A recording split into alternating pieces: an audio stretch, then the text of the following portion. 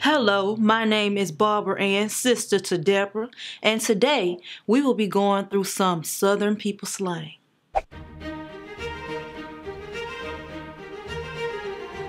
So you may remember me from a video Tyra posted to her YouTube channel last month during Spooktober about Halloween origins and traditions and such.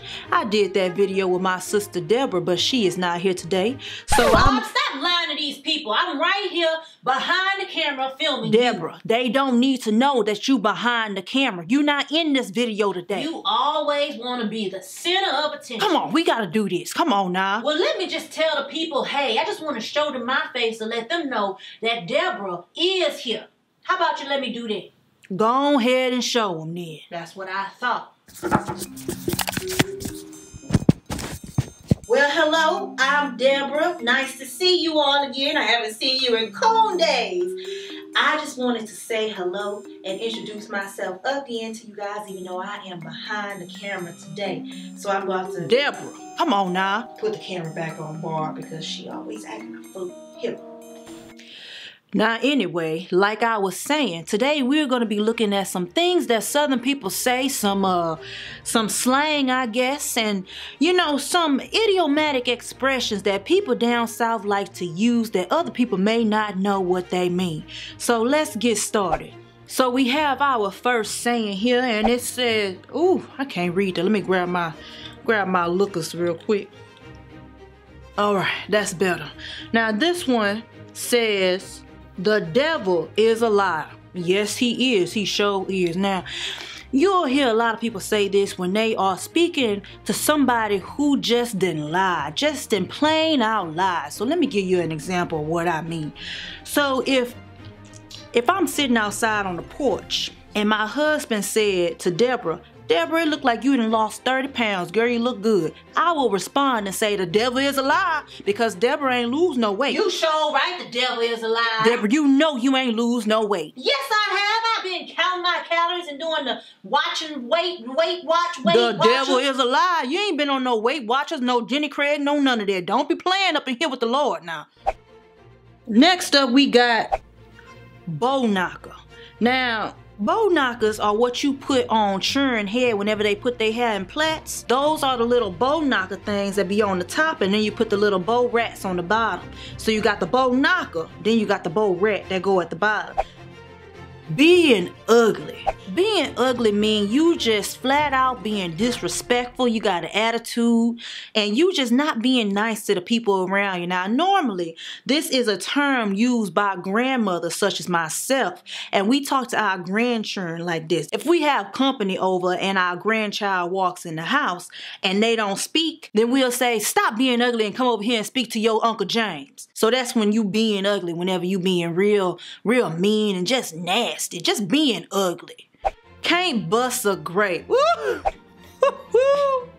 I got the perfect example for can't bust a grape. So when we was in school, when me and Debra was in school, Debra would always just run her mouth. I mean, she would just talk, talk, talk. And it had these big old girls that just couldn't stand Debra, right? So one day the girl said meet her after school in the front lawn of the school right? So Debra was still talking, still running her mouth, you know, but Debra can't bust a grape. So you know what Debra did? Debra did not go and she did not fight that girl. So busting a grape, when you when you can't bust a grape, it mean you can't fight or you won't fight.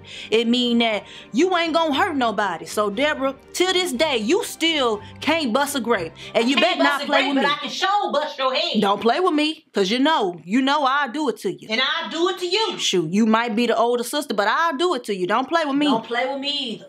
Too old for this. Let's move along. Commode. Now this this I don't really use this term commode, but I have heard my grandma, she used to say commode all the time. Now normally a commode is a piece of furniture, but where I'm from, a commode is the toilet.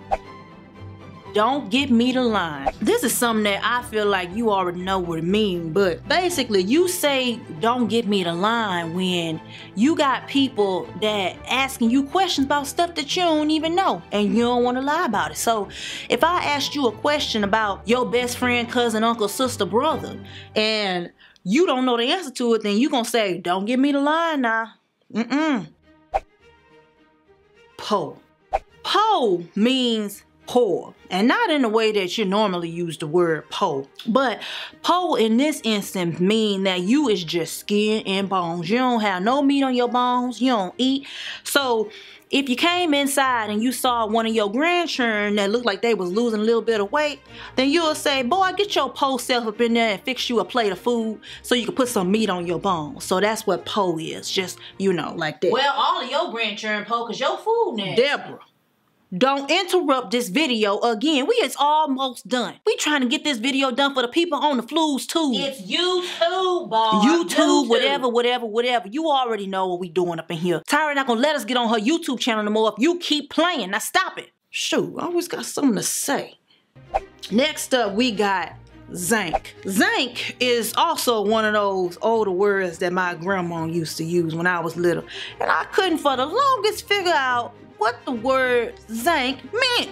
So one day I was just like, Grandma, what is a zinc? Cause I just I just don't know. She'll tell me, go put this here in the zinc, clean out the zinc, empty the zinc, and I just did not know what she was talking about. So one day I said, Grandma, what is the zinc? And she said, Barbara Anne, don't you play with me. And I said, Momo, I'm not playing with you. I don't know what a zinc is. So she took me over into the kitchen and pointed at the sink, y'all. So a zinc is a sink. That is not how she pronounced that word, Barb. You know that. Debra. You know what? You gonna do the next video. How about this?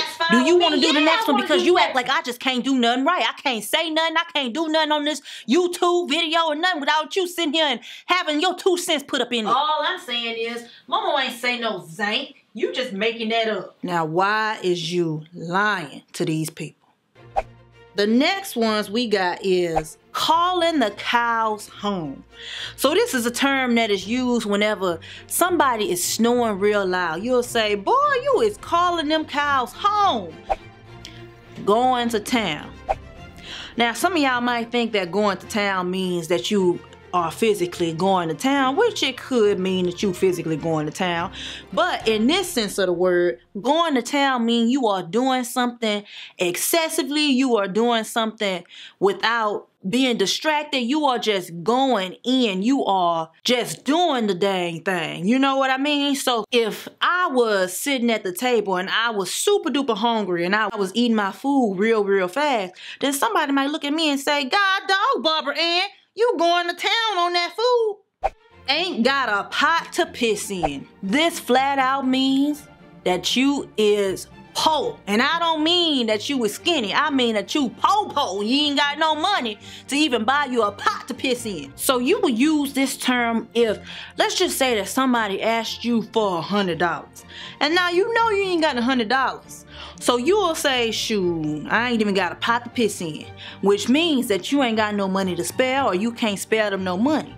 But you can also use this term if, let's just say that somebody was, um, what y'all be saying these days, these kids be saying, y'all be flexing and stuff, y'all be buying all these, um, Balenci Nachos and uh, you know, these these Gucci bandanas and all that foolishness when y'all be buying all that, but you ain't got a house or you got bills that's overdue, credit cards that's past due and overspent, all that, you'll say, or with old folks, they'll say, you spending all this money on these Balenci no-nos and you ain't even got a pot to piss in.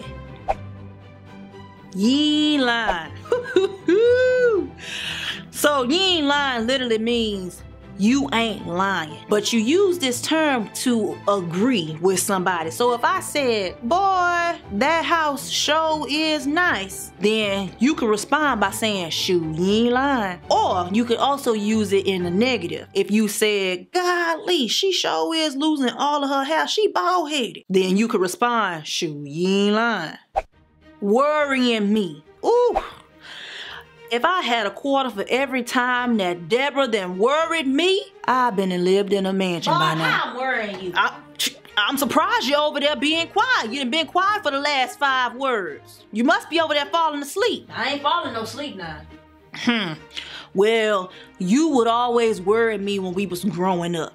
So worrying me means that you just aggravating me, just picking at me, just just you know, all up in my space, just trying to get my attention and all that kind of stuff. This is something that the older folks say. If a if a child keep asking them the same questions over and over, or just trying to, you know, be rambunctious and and get my attention, or you know, try to play with you or something like that, you'll say, "Come on, now, stop worrying me." Then you'll tell them to go sit down and watch some TV or do some homework or read the Bible or something like that. That's what they need to do instead of worrying me. Hmm, now, like grandchild, like grandmama.